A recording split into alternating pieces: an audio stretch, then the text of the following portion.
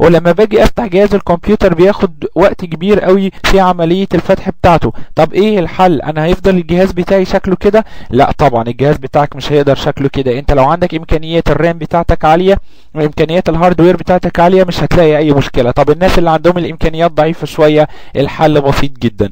إحنا لو دخلنا ال control panel هنلاقي فيه جواها حاجة اسمها administrative tools. من جوه ال administrative tools هنلاقي فيه حاجة اسمها services. هنفتح ال services اهي.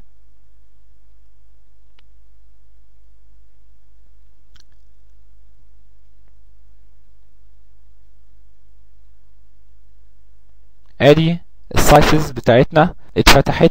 لو نزلنا شوية كده هنلاقي ال services اللي خاصة بال Oracle موجودة. هنلاقي ال Oracle service ORCL دي قاعدة البيانات بتاعتك. ده ال listener اللي أنا كنت بتكلم عليه من شوية. ده الاي سيكوال بلس ستارتد زي ما إحنا شايفين ال status بتاعتهم. اهي ال status قدامنا. اهي started started started تمام؟ آه هنلاقي عندنا ال job scheduler ORCL ال Oracle DB console تمام يا جماعة؟ كل الكلام دوت بياخد وقت جدا و مساحة على ال RAM وجزء من ال CPU processing أثناء التشغيل. طب نفترض إن أنا عايز أحل المشكلة بتاعت قاعدة البيانات دي ببساطة جدا. حضرتك قبل بعد ما تسطب ال Oracle عندك تخش على ال service وتحول ال startup type بتاعتها ل manual ليه manual لأنها لو اوتوماتيك زي ما هي معناها إن كل ما جهاز الكمبيوتر بيجي يتفتح بي run قاعدة البيانات بتاعتك. لا أنت خليها manual واعمل لها stop هتقف قاعدة البيانات بتاعتك. صح؟ بعد ما تعمل لها stop هتقف قاعدة البيانات بتاعتك. ماشي لكن لما تيجي بقى تشغل جهاز الكمبيوتر بتاعك مرة تانية وعايز وقت ما تحب إن أنت تشتغل على ال Oracle هتفتح ال services وتخش على ال Oracle service ORCL وتعمل لها start تاني وتشتغل وتعمل الكلام ده كمان بالنسبة لل ال listener هتخليه manual أهو. أهو زي ما إحنا شايفين. أهو هنخليه manual أهو manual manual آه اللي يهموني أول الثلاثه دول ال Oracle DB i home. أهو هنخليه هو كمان manual آه وقت ما حضرتك مثلا إحنا عشان شغالين دلوقتي محتاجين إن كله يبقى start أهو.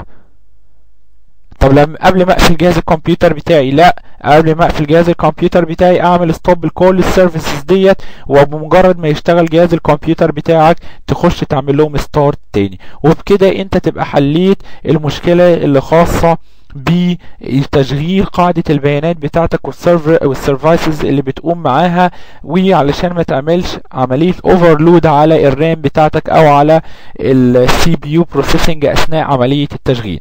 أعتقد كده الموضوع بسيط جدا جدا جدا. عرفنا إيه قصة ال configuration بتاعتنا وشفنا إيه هي البيئة اللي خاصة بالاي سيكوال بلس يو ار ال وعرفنا إيه السيكوال بلس الانفايرمنت اللي إحنا هنشتغل عليها وهنعرف إزاي بنشتغل على البيئتين دول بصورة مبسطة جدا.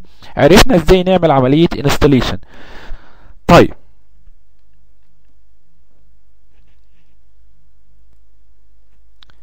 نكمل كلامنا مع بعض.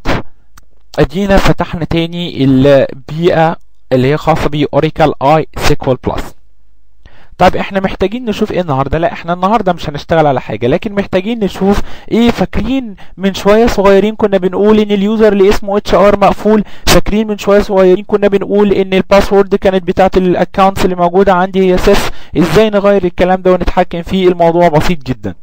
علشان يا جماعة نقدر نخش نعدل في الكلام ده كله وإزاي نتفرج على ال users اللي موجودة عندنا حاجة مهمة جدا لازم نعرفها.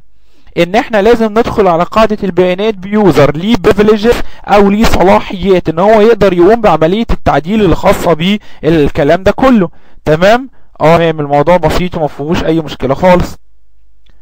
آه أنا آسف. آه مرة تانية آه إحنا لازم علشان نقدر نتحكم في الكلام اللي قلناه من شوية لازم يكون ندخل على قاعدة البيانات بتاعتي ب user ليه صلاحيات إن هو يعدل في ال users اللي موجودين أو يمنحهم صلاحيات معينة وده اللي هنشوفه مع ال user اللي اسمه system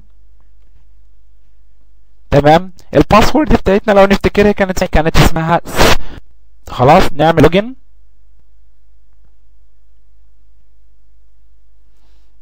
آدي البيئة بتاعتي اللي خاصة بي اوراكل اي سيكوال بلس آدي ال environment بتاعتي اللي أنا هشتغل عليها. طبعا آه إن شاء الله من المحاضرة الجاية نبتدي نشرح الشكل اللي عامل البيئة دي لما نيجي نشتغل عليها إن شاء الله.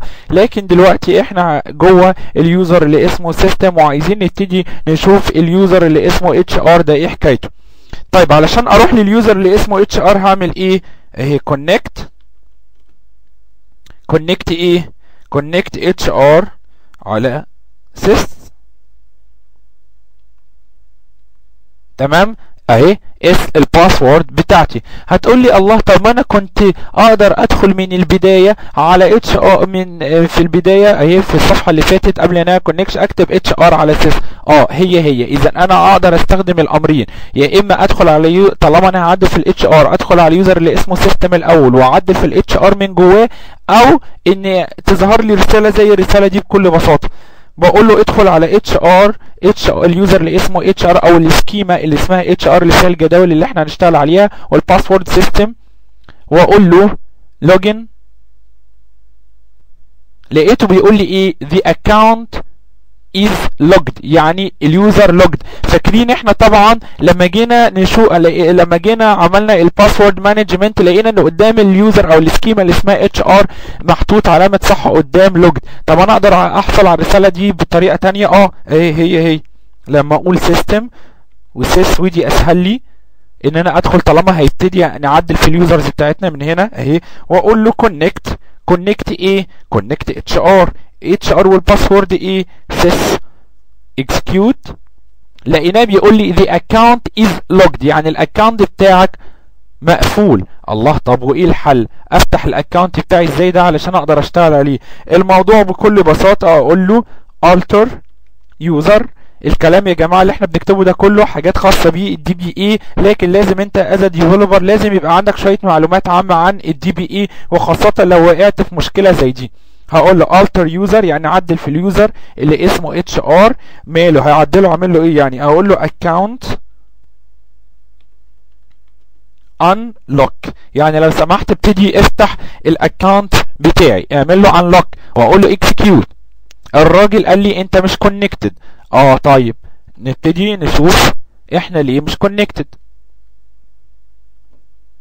اهو. connect. أو أعمل أشوف ال user اللي أنا واقف عليه أهو show user وريني ال user. بقول لي ال user اللي أنت فيه ما null عشان كده أنت مش connected بأي user. عشان إحنا فضلنا نعمل back وعشان أمور ال security لو نلاحظ إن إحنا كل ما نعمل back بنخ على شاشة معينة لغاية ما خرجنا على الشاشة اللي فيها ال user name وال password لو دخلت تاني دخلني على الشاشة. الله إيه ده؟ يعني أنا أقدر أخش على ال users اللي موجودة وأقدر أستخدم كده البيئة بتاعت iSQL Plus وأنا من غير ما أكتب password يعني بصوا أنا مش كاتب هنا password أقدر أخش عليها؟ أهو. آه لا بس خد بالك أنا لما جيت أعمل connect على أحد ال users وأقول له أنا ال user اللي واقف عليه اسمه إيه قال لي أنت مش واقف على أي user أصلا. أهو show user.